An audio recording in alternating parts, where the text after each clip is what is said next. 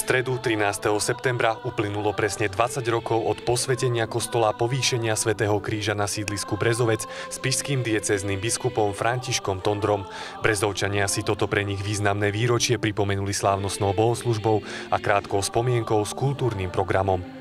Ja myslím, že nikto nečakal, čo ten kostol alebo tá stavba toho kostola vyvolá na tomto sídlisku. Keď čítame históriu domu, tak nachádzame v nej napríklad také myšlienky, že bol pomerne veľký nezáujem ľudí o stavbu toho kostola, hlavne, hlavne zo sídliska. A tak sa mnohí pýtali, pre koho bude slúžiť, na koho bude.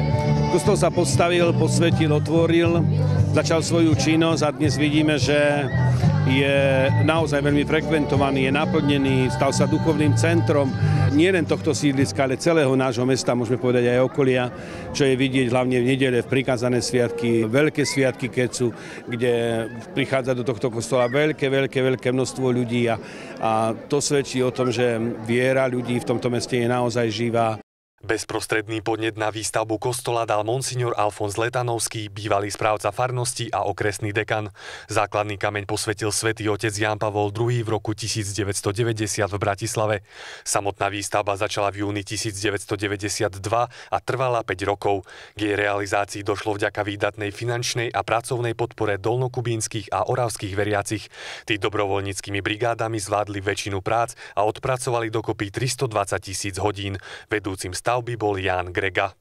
Prvá myšlenka bola v 1989 roku, keď bolo uvoľnenie a chýbali kostoly mnohé, tak aj v Kubine sme chceli postaviť ten kostol, tak sa rozhodovalo medzi dvoma, jeden väčší, druhý menší, tak sa postavil tento a ešte sa rozhodovalo o mieste, toto miesto, kde je a potom druhé bolo za cestou, za cestou na druhej strane. Tak určilo sa tu a stavba vyrástla. Najhoršie bolo so základami, lebo v tom čase ešte sa to robilo aj cez iné obdobie. No a potom, keď sa už vyťahli základy, tak to už bolo vidno troška zo všetkých stran. Aj viac ľudí sa pričinilo k tomu a ako rástla stavba, tak už potom bola väčšia zanietenosť a väčšia chuť tých ľudí. Vo všetkom spolupracovali sme s pánom Gregom, no a tak sme robili oltár prakticky, ambo, takisto ako kde sú svetí na oltári, hore preklady, trojuholníky. To bola moja práca tu na. Takže nechali ste tam svoju dušu, dá sa to No, ja tak by som povedal a som šťastný na tom, že som mi to podarilo. Chodil som betonovať hlavne a potom aj ku dláždeniu a tak. No. Partia sme boli dobrí, OFZ sme chodili, takže sa nám dobre tam robilo. Brigádovali sme tu. Každý druhý deň som tu nábol. Chvala Bohu sa postavil a teraz aj tí, čo ho nepotrebovali, teraz sú radi, že je to postavené, lebo ich deti budú to mať. Pre nich sa to stávalo. Kostol povýšenia svätého Kríža sa počas 20 rokov stal dominantou a duchovným, kultúrnym i spoločenským centrom Brezovca. Zmenil sídlisko i jeho obyvateľov. Ja som o tom presvedčený. Vezmeme len takú skutočnosť, kedy si v tomto meste, myslím, boli len 4 sveté omše. Dnes máme 10 nedelných svetých omší a sú plné. To je tiež znakom toho, že sa otvorili brány a možnosti pre ľudí na to, že vyhľadávajú Boha, že ho potrebujú, že si nevedia život predstaviť bez Neho. Mnohým to prinieslo naozaj pokoj do rodín a takú aj vnútornú pohodu a takú pestrosť v ich osobnom, kultúrnom i duchovnom živote.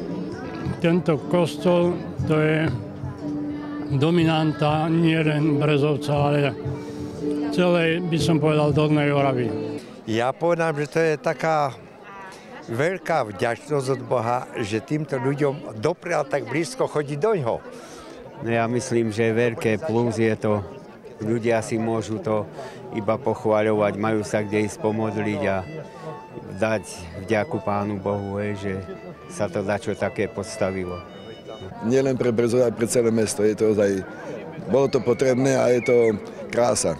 No a hlavne, že tá duševná obroda v tom kostole, že ľudia majú kde ísť a poďakovať, prosiť a tak im som aj ukloniť sa, aj, aj pozbudiť sa do, do života.